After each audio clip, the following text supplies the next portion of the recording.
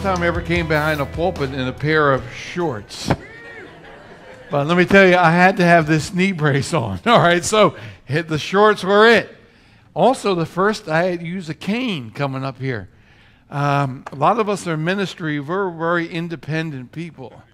We don't like to lean on a lot of people, let alone a cane. But uh, praise God, I appreciate this opportunity. Before I, you know, give you a little bit of update on the missions trip, and um, again share with you what God has placed on my heart. Let me say a special thank you to everybody of this church. Um, now it's been a month ago. I, I, fouled up my knee. I ended up thinking uh, I'm like going to be 72. I thought I was still like 20. All right. So in one week's time, I, you know, bought 75, 80 bags of mulch and I was over there at Home Depot, you know, and these you know, kids come to me, they want to load it. I said, I don't need your help. I loaded them myself. Ended up uh, lay it all back there myself. My knee's starting to act up, and uh, you know you feel it. Then that same week, and then I walked four miles a day. You know, the end up was at that time. Then I played golf three times, 18 holes, 18 holes, and 27 holes the last day. And then I went down to Myrtle Beach for a day and had Diane in a wheelchair and took her down this rickety ramp and up. And then eventually, when I went back down, I was going to sit on the beach.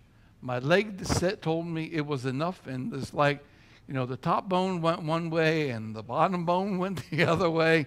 And down Bill goes, all right? And God trying to help me realize you are not 20 years old, all right? So uh, people have been asking me, you know, where we moved from Jersey, uh, about, you know, it's slowly getting by. Uh, it's a slow process, right? Very slow. But God's been teaching me something because we go over to Ghana and I'm dealing with kids in wheelchairs and canes and everything else. Uh, you, you, take for granted your mobility. Can I say this? And um, also, it's giving me empathy with my wife. All right. So it's God like teaching me a, a lot of lessons. But the thing I wanted to say thank you during this time, church came behind us. Um, they brought meals. All right.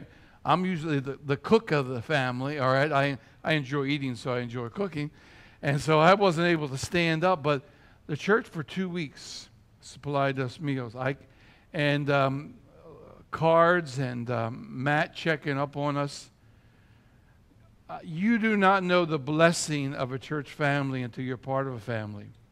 Now, I can tell you, as a former pastor, probably one of the toughest things is to retire from ministry as a pastor and to find a church family.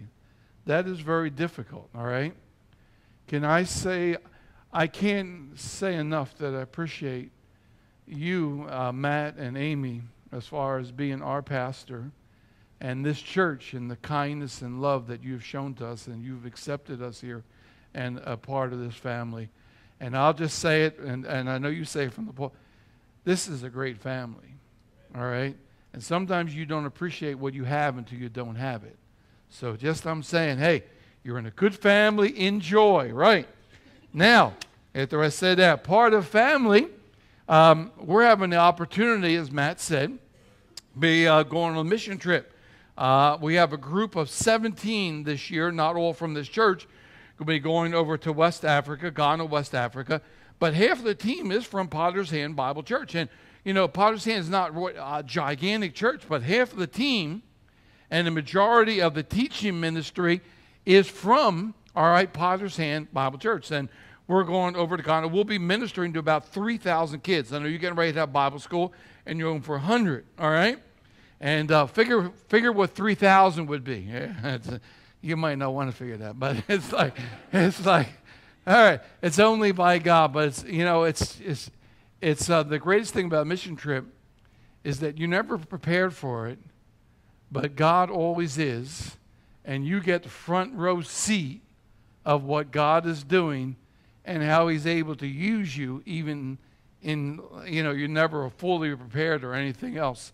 And so uh, we'll say more about that later on. But there are prayer cards back there that you could pick up. I appreciate everybody helping um, on the bake sale last week. I know at the end of this month, Hayden called me, all right, that we're going to have a barbecue. That's, I, I kid around. When I was a pastor, I used to do things that were a little dubious. In other words, like I would go, all right, we're going to have a fellowship tonight, and it's going to be homemade ice cream, and we're going to choose who the best is. Now, of course, what, what it is is Pastor Bill wanted what? Ice cream, all right? And who was the judge? Ooh, baby, see, I don't know if you've ever done this, right? Oh, I would do all this kind of stuff, right? So we're having a barbecue because I like Hayden's barbecue, right? So, but, and a lot of people here like it. So we're going to do that at the end of the month. So remember, remember the team. God has been meeting our needs uh, in a miraculous way. And uh, one of the needs was I always like to have a nurse. And I didn't, well, I have two nurses going. I need them, all right?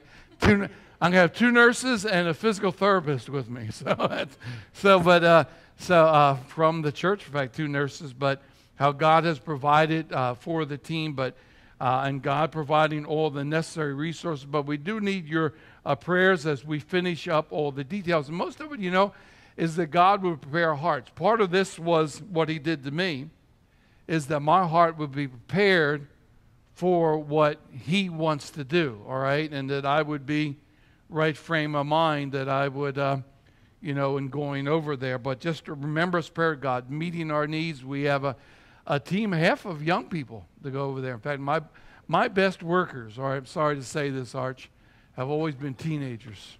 Man, and, and I hate to say this, guys, it's always teenage girls. if I would have a choice between teenage girl and teenage boy, I hate to tell you. I mean, you find out who the toughest is, all right, when you get over there. But please remember us uh, in your prayers, and I know that you are. Now, thinking about that, I want to share uh, uh, again what God has put on my heart, and I'm going to relate it to what I have uh, just said. Um, I'm going to read, uh, and I guess we have the verses Hebrews chapter 1, verse 1, uh, in chapter 11, verse 1 and verse 6, and then I'm going to read a story in Mark chapter 5. Now, these are familiar verses, all right, in the book of Hebrews, all right, uh, talking about faith, and we're to operate by faith. It says in verse 1 now, faith is the what? Substance of things hoped for, all right? Substance, the reality, all right? Something that is concrete, but yet hoped for. Now, he's not talking about a pipe dream or something that you're just, you know, dreaming about, imagining but he's talking about a hope that is built on the reality of God's word and God's promises. In other words, that I am believing that those promises are real, even though I haven't experienced them yet. They're real to me. They're as real as, you know, as pulpit would be, the real as chairs are, as real as any of us. All right? That's what faith is. The substance of things hoped for. In other words, what lies before me is there. It's not going to fade away, it's not going to vanish. But then he adds it's also the evidence of what? Things not seen. Now, I, I have a goal. That's why I look to hope.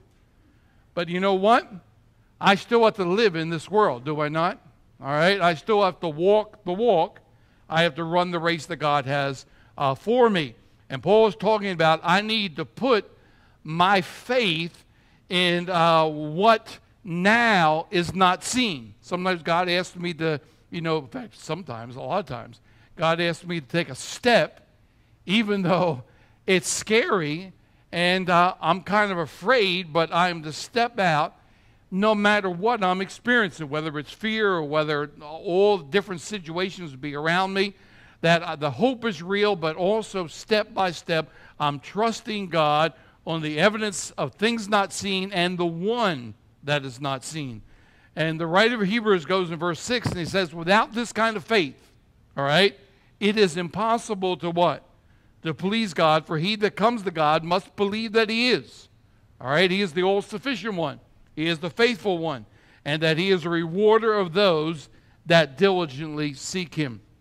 I was involved in children's ministry for a lot of years, and you would try to drive home truths to kids in different ways. And uh, I was involved in the Awana ministry probably uh, at least for 30 years one of the things I, I, I, would head the Awana ministry, we had a lot of kids and a lot of workers, but I like doing things, all right?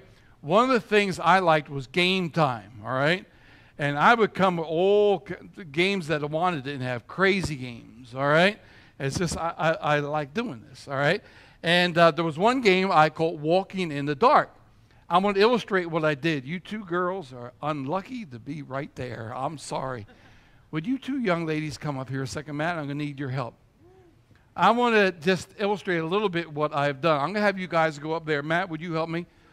Um, this is a blindfold, the best I could do. But I want you to make sure you choose which. In fact, one of these young ladies is a visitor, right? Yeah, and your name is? Caitlin. Caitlin, do you trust this young lady? Yes. Okay.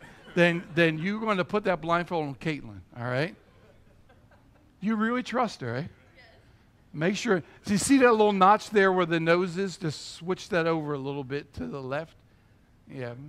Yeah, keep on going. Back. Right there. Yep. Now I'm going to make sure you can't see underneath that, right? Yeah. Uh, you can you see? No. No. All right. Now let's take her over here, Matt. All right, right to that side.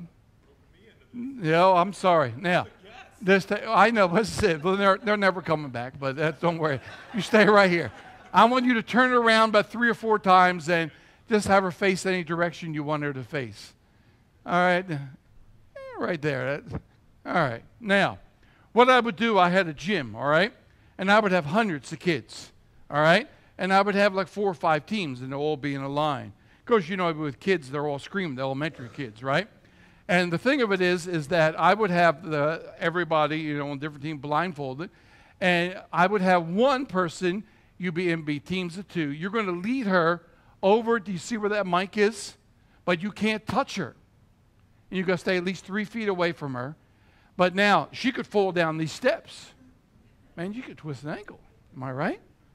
you got good insurance, right?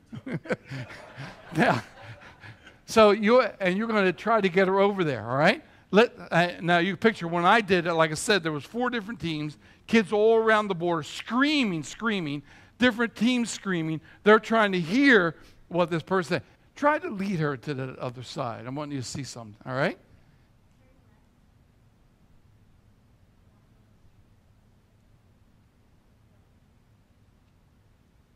Well, I'd be careful.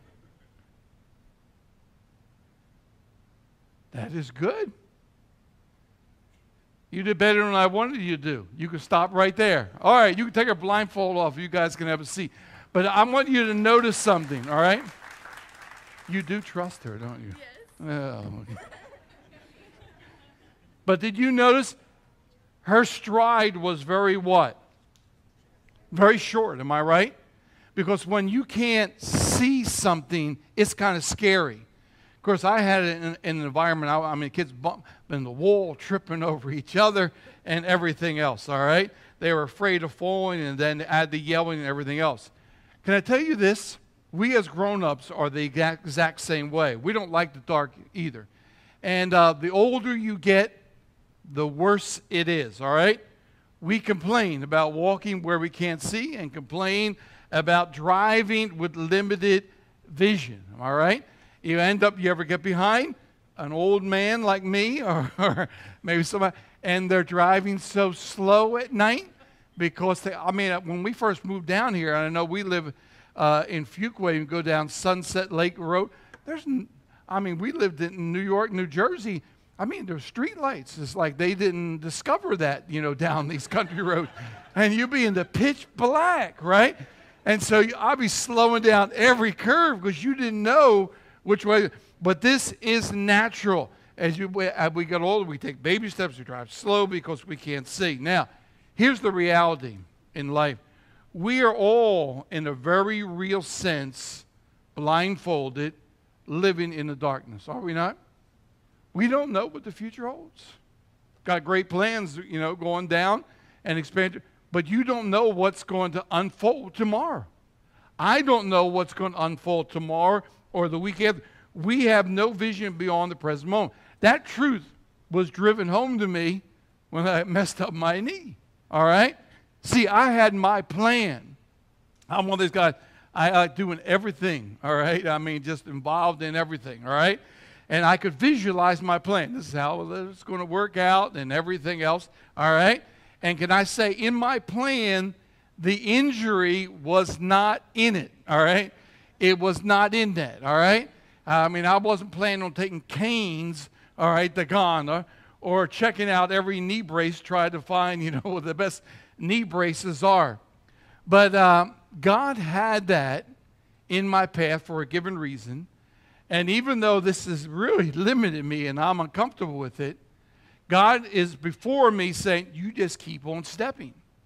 You can't see what I'm doing. You have some pain. You have some discomfort. You're uneasy, a little afraid of falling, but you just keep on what? Stepping one step at a time. See, that's what the Christian life is, is it not?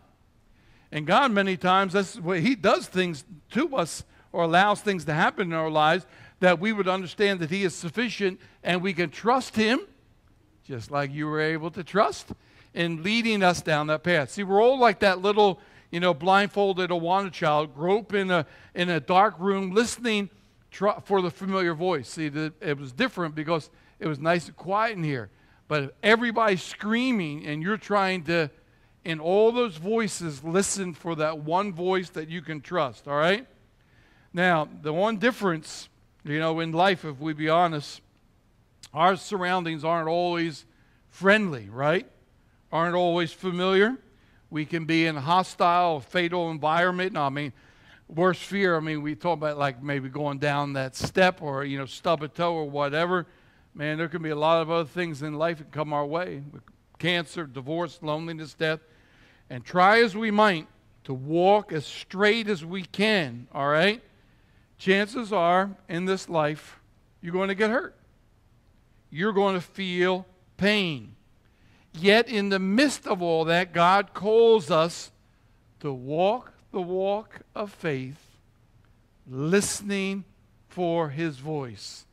We don't panic, we don't stop, even though sometimes, man, our steps are doesn't, don't look quite as confident as they, but we still keep on going forward. Now, keeping that in mind, I want to read a story, all right, that illustrates uh, that truth. And that story is in Mark chapter 5 about a man by the name of Jairus, all right? Now, Jairus, man who tried to walk as straight as a line as you could. In other words, type of individual, I'm sure like most of us, in other words, I want to do what's right. I want to be what's right. I want to be the right type of man, the right type of father, mother, all right, woman, all right? This is who Jairus was, all right? In the days of Christ, when I read the story, he was a leader of the synagogue. That means he literally was the most important man in the community. Everybody knew Jairus was because the synagogue was the center of religious activity, but also of social activity, all right? So everybody knew, all right, who he was. And the leader of the synagogue was not only the senior religious leader, but he, he was literally like the professor, he would be like the teacher, like the mayor, best known citizen, all right? And it's almost like, I mean, that's everything you could hope for. But I'm going to read the story. Jairus hoped for something else. In fact, the situation is going to be that his daughter is very, very sick. And in his mind, there's the possibility that his daughter is going to die and he can't see into the future. All right? So fear is grip, gripping his heart. All right? What happens if she dies? And uh, he's going to go to Jesus. In fact, uh, in the story, you'll, you'll see he doesn't barter with Jesus, doesn't uh, negotiate with Jesus. And again, this is an important man, but he ends up, he literally pleads with our Savior that he would come. And um, what you have in the story is Jesus is going to go to the man's house. Now, I want you to catch this, all right, what's really going on here. I personally believe the main thrust of the story, Jesus is not doing this mainly for the 12 year old girl. 12 year old girl is going to die. But now follow me. She's going to die. She's going to be where? In heaven, better off. All right? Jesus is doing this for who? for Jairus. He has some things he needs to learn, all right, in the faith life. And it's the same way with us, all right? God, I believe, allows situations to come in life. He wants to teach us some lessons. And I want you to see, I'm going to give you three lessons that I got from this story, but and that I'm applying to myself, but also I believe that we apply to in all of our lives. See if you can pick them out. Let me start reading verse 21. says, Now when Jesus crossed over again by boat to the other side, a great multitude gathered to him, and he was by the sea. And behold, one of the rulers of the synagogue, Jairus by name, when he saw him or saw Jesus, he fell at his feet. In other words, hey, forget about being the man, forget about, in other words, having position. I, am literally going to beg Jesus that he would come with me. And he begged him earnestly, fervently, all right? My little daughter lies at the point of death. Come, lay your hands on her that she would be healed, she would live. I, I, I don't know what's going to happen, and I'm afraid the worst is going to happen. So come with me.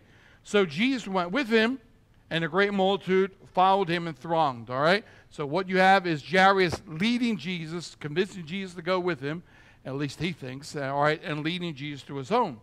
While he was still speaking, some came from the ruler of the synagogue's house and said, Your daughter is what?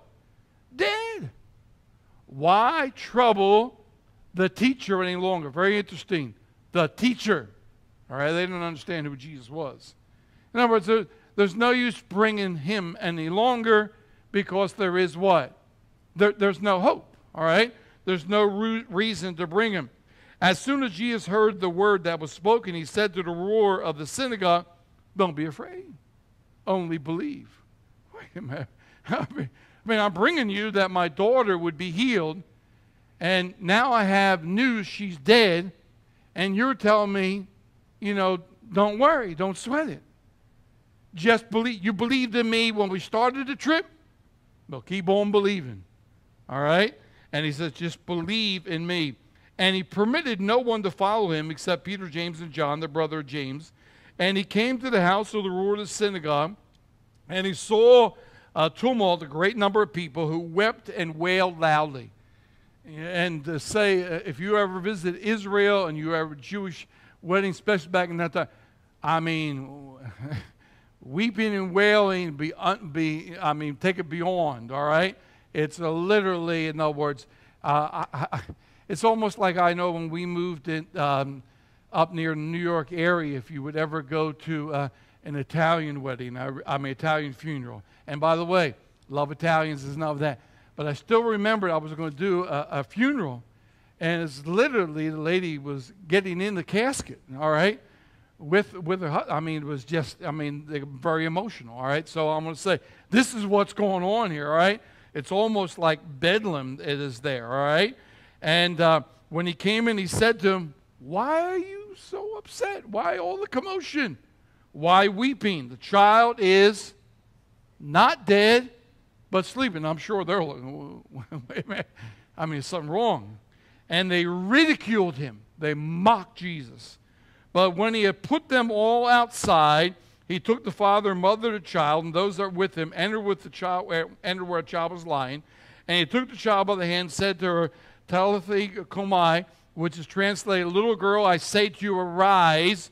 And immediately the girl arose and walked, for she was 12 years of age. I believe it's the first time he brought anybody back from the dead, all right? And they were overcome with great amazement, but he commanded them strictly that no one should know it, and said that something should be given to her to eat, all right? I, I, I'm a dad. We have seven children. I cannot imagine. I just think of what was going on in this. I mean, you're talking about height, hope, no hope. I mean, I, I mean, now girl alive. Let me give you three things I think we, I, I'm learning, and this is what we need to learn. Number one, I need to determine I'm going to see the unseen. You need to determine in your Christian life you will see the unseen. Remember, I read Hebrews chapter 1, verse 1 faith is the evidence of things not seen as a Christian, as a believer, I need to determine I will see the unseen. Before Jesus and Jairus got very far in that story, they were interrupted, right? Interrupted by people from the house, his house, saying, Your daughter is dead. You don't need to bother the teacher any longer. And it's very interesting what happens because you find a shift that was going to happen here, right? Up to this point, at least Jairus is thinking, I'm convincing Jesus to come and I'm leading Jesus. But now it's going to switch that Jesus is going to be convincing Jairus, all right, to keep on going.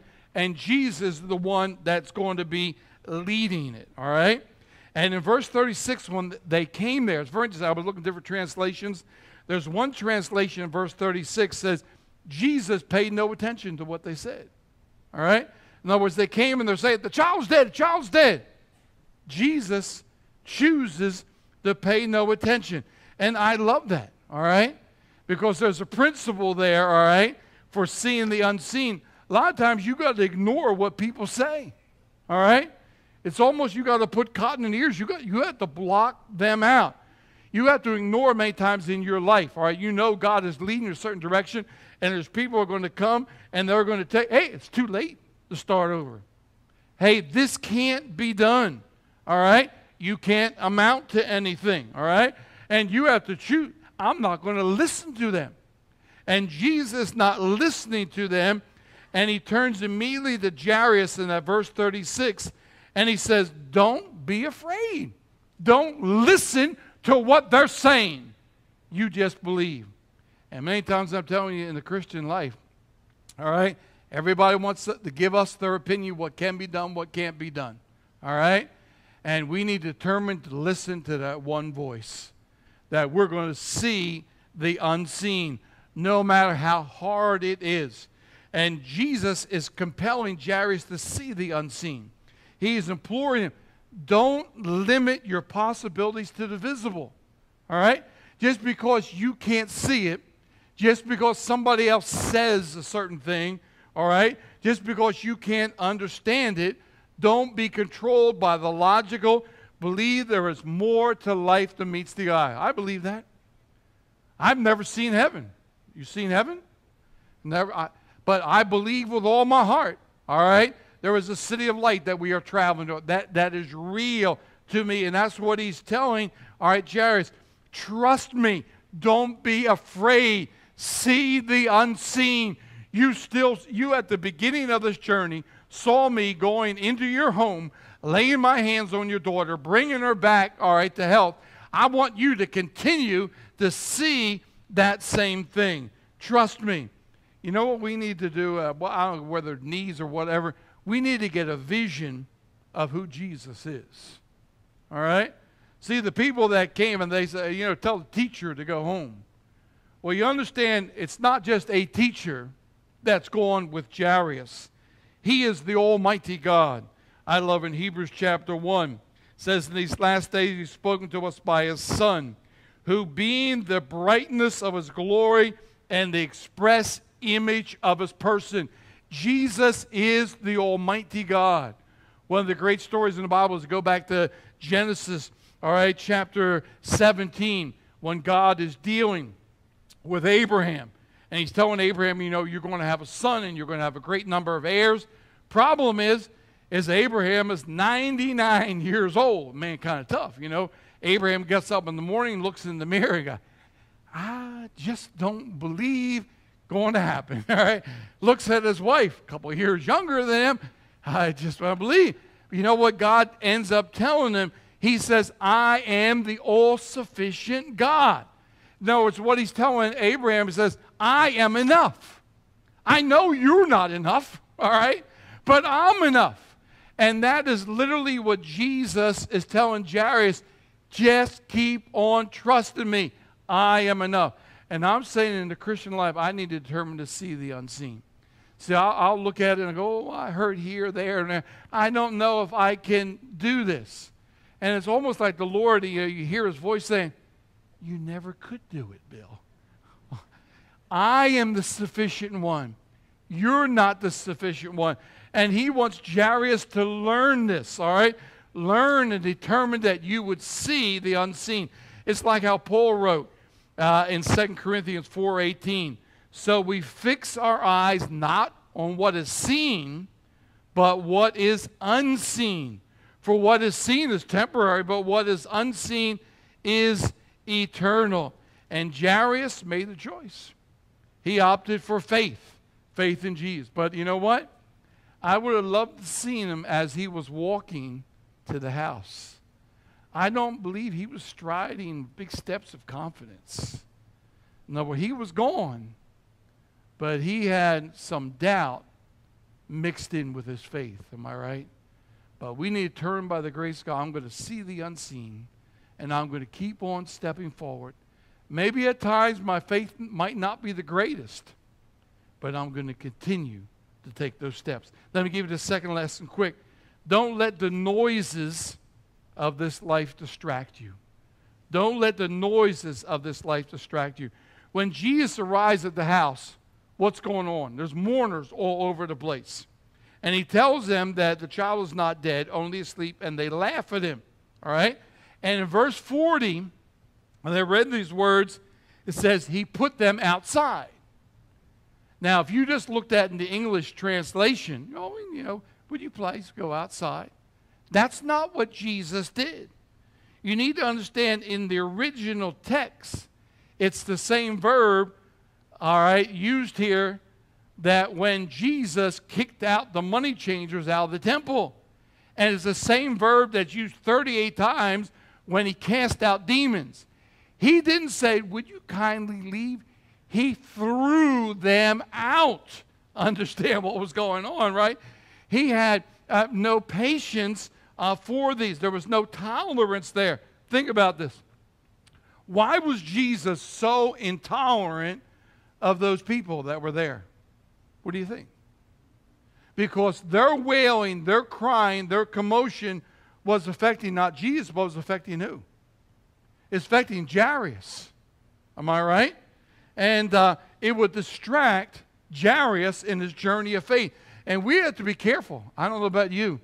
Noises of this world, just like, like I said, when we did that game in Awana, and they would have all those noises going on, right? You would just constantly, every kid yelling and screaming and you're trying to block out all those noises just to hear the one voice. Can I say that's how life is, isn't it? Anybody ever had the enemy whisper in your ear, and then you got people, I mean, all around you. They all want to share what they think. I mean, and all these noises. And we have to understand, all right, I cannot allow the noise of this world to distract the vision that God has given me.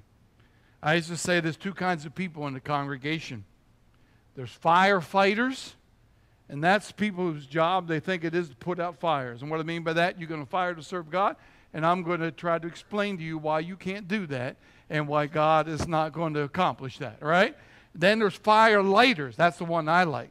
They're the people you want to be around. It's like they fan your flame, all right? They ignite you because they are on fire for God. Don't let the firefighters put out your vision, is what I'm saying. All right? And we have to determine because the voices are going to be all around you. All right? If you want a reason to stop, they're there. Last one, you got to keep the right perspective. Last lesson, keep the right perspective. When we read Hebrews chapter 1, it says that faith is the what? Substance of things hoped for. All right? When Jesus encountered the mourners, he's troubled by their wailing. Follow me. It bothered him that they were having such anxiety over death. Why are you so upset? Literally, it's like, why are you so upset? Why are you crying and making so the child is not dead? Why did Jesus say that? Because his perspective of death was totally different than their perspective, all right? Literally, from his perspective, that little girl is what? not dead. All right? Physical death, necessary step, say the Lord returns in our lifetime, to pass from this world to the next. Death is not an end. Death is what? Beginning. And Jesus couldn't, uh, you know, why are you so, you know, you say you believe something, but yet when you are called upon to live out that belief, you don't. It's like I like to relate like this. I don't know how many of you, as you raise kids, and I know uh, our kids, man, when they would go out and play, they would get filthy, right? I mean, dirty and everything else. And you have supper time, all right? The time I was raised, that you were able to, you know, most of the meals ate together as a family. And when the kids would come in, all right, you would ask them to do what? They got to wash up, they got to clean up, right? Uh, and especially, you know, if you had their favorite meal, all right? Did they ever complain about cleaning up? Leave mine, no. Small price to eat, right? I'll clean up. You're going to feed me, all right? Can I say, From God's perspective, death is a small price to pay to sit at his table. I mean, it's, it's like from, he, he sees it different than we see it. Uh, 1 Corinthians chapter 15. Uh, again, Paul says it this way This I say to you, brethren, flesh and blood cannot inherit the kingdom of God, nor does corruption inherit incorruption. This corruptible must put on incorruption, or mortal must put on immortality. All right? See, God's just as insistent as our, in fact, more insistent than our parents. Change of clothing has to happen before you're going to come into my house. All right? From God's viewpoint, death is not to be dreaded. All right? It's to be welcome. Uh, I didn't understand until I got older. You don't want to live forever. And it, as you get old, you want to stay in this body for this look, you know, you look back and you see what's happened in the years. You want to go 100, 120, 140, and keep on decaying? No, no, no, no. That's why when Paul talks in the Bible, he says that we in this house, we moan. Yeah, that's why as old people, we moan because we're in this house of flesh and it gets older and it's uh, hard to drag it around, right? And uh, so, from his viewpoint, death is not, re- it's to be welcome, all right? So, what I'm saying is that I got to keep right perspective of life, all right? These mourners had a wrong perspective. Sometimes I make it everything, you know, about my plan or this or here and there. God, we need to have a perspective built upon the Word of God. And I live in that perspective. Mark it down. I believe this all mark. God knows we're blind, right?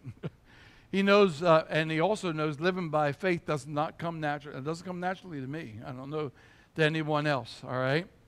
That's the reason He raised Jairus' daughter from the dead, not for her sake, she's better off in heaven, but to teach us all right, to learn to trust Him. You put your trust in Him. I heard a cool analogy, and I like this, all right? Years, uh, years ago, in fact, especially uh, during the time New Testament was written, when a ship was, um, you know, uh, in a storm coming near port and end up the ship is rocking unstable. What they would do to stable the ship so it wouldn't be driven, they would cast out the anchor. Now follow me. Can you imagine the captain of the ship? The ship's in a storm, it's being thrown away. I'm going to put the anchor, I'm going to put the uh, cast it, but I'm going to cast it in the ship. So he takes the anchor and he puts it out on the bow of the ship. The ship is still what? Being tossed to and fro. Why? no, I'll put it on the back deck. Ship is still being tossed. Am I right? Well, I'll take it down to the hold, right? Put that. It's not until you put the anchor in the depth of the sea that stabilizes. Can I say the stabilization factor in all of our lives is not us. You can't trust in yourself, but we trust in the all sufficient God. And then we just keep on walking step by step. Sometimes our steps might not be big strides, sometimes they might be small, but we can trust Him. He is the all sufficient God. So whether it's a journey going on a mission trip, whatever it is that you're facing, can I say this? You can trust Him. And the, you know the cool thing about it is, the journey where God takes you, it's always very, very exciting, and you don't want to miss it. You don't want to miss it. Let's have every head bowed, every eye closed, nobody looking around for a second. I want to do what Matt does uh, every Sunday, give you an opportunity to respond to the Word of God. Jesus always did this as he preached truth, he gave people an opportunity to respond. Maybe you're, you're here in a situation you know, similar to Jairus. Maybe it's not, you know, death of a child, but you have a situation in your life and you're afraid what tomorrow holds. And um, it could be that God's allowed this to come into your life. In other words, to teach you some things. All right? That you would have the right perspective of life, that you would just shelter, get, get rid of all those noises that are yelling around around you and that you would see the unseen, that you would see Him and you would hear His voice. Maybe it's almost this morning you can hear His still small voice saying, just like He said to Jairus, trust me. Don't be afraid. Trust me. Maybe this morning you need to come and just bow at this altar and say, Lord, I'm going to make a choice.